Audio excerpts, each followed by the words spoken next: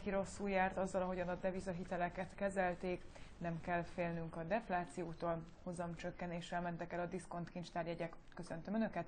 November 11-e van egy óra, ez a privát bankár élő híradója. Én Füstös Móni vagyok, és mondom a részleteket. A minisztérium vasárnapi bejelentése óta minden a devizahitelek forintosításáról szól. Mostanra a Bankszövetség is kiadta saját kommentárját.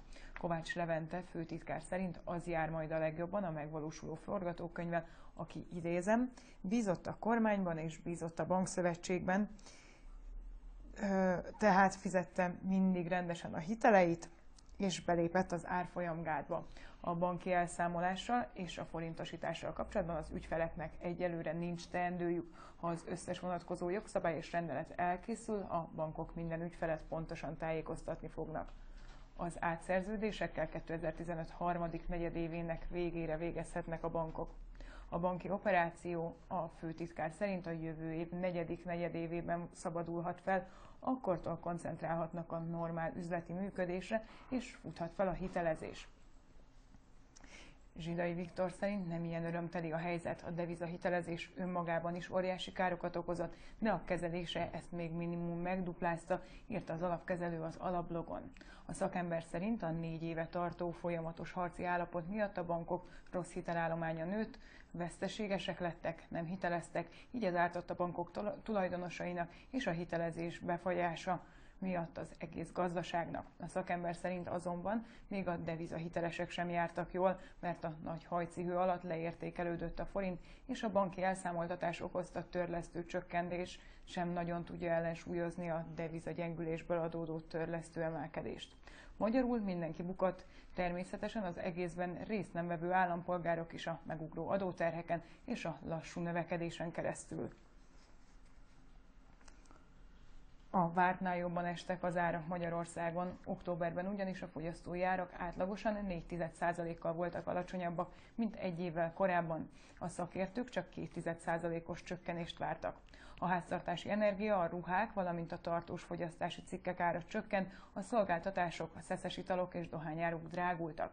Szakértők szerint azonban korai még deflációs veszélyről beszélni Magyarországon, az egyszeri tételek nélkül számított maginfláció ugyanis pozitív. A rezsicsökkentés nélkül 1% körül lenne az infláció, vérekedett Török Bálint a Budakes Brókerház makroelemzője. Azonban nem csak a rezsicsökkentés miatt mérséklődnek az árak, többek között az élelmiszerárak és az üzemanyagárak is csökkennek, és jelentős az alacsony globális infláció hatása is, tette hozzá a szakember a meghirdetett összegben értékesített három hónapos diszkontkincstárjegyet az Államadóságkezelő Központ keddi aukcióján. Az AKK ismét 30 milliárd forint értékben vitt aukcióra három hónapos diszkontkincstárjegyet.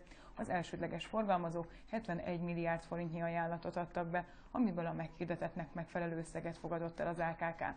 A hozam kisét csökkent az előző aukción kialakulthoz képest, most 1,71 százalékos lett.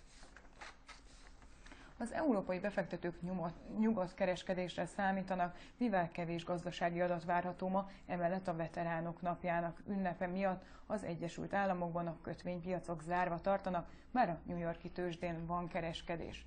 Itthon továbbra is az OTP van a fókuszban, a Fairbankokról szóló törvényt ma tárgyalja a parlament, a devizahitelek forintosításának további részletein is sok múlhat.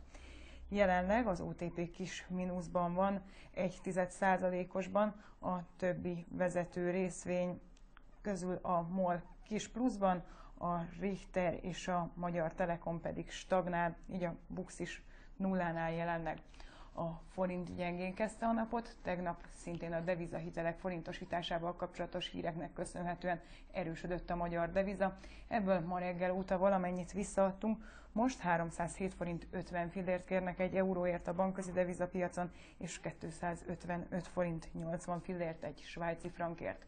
Négy órakor lesz legközelebb élő híradó itt a privát bankár oldalán. Addig olvassanak minket, köszönöm figyelmüket, viszontlátásra!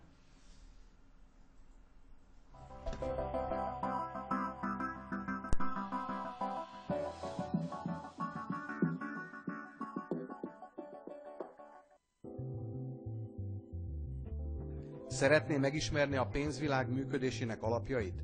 Első kézből akar értesülni a legfontosabb változásokról? Tudni szeretné, mi történik a gazdasági és pénzügyi események hátterében? Utána jártunk. A privátbankár.hu oldalai megjelenő cikkek közül egy csokorba gyűjtöttük azokat az exkluzív anyagokat, amelyek elsőként vagy kizárólag nálunk olvashatók. Mi ugyanis utána jártunk. Háttérinformációk a gazdasági és pénzügyi hírekről, tőzsdei és devizapiaci elemzések, összeállítások, ismeretterjesztő cikksorozatok üzleti alapismeretekről, állampapírokról, befektetési alapokról és az élelmiszerárak alakulásáról. Tudják, privátbankár, pénzügyek, okosan.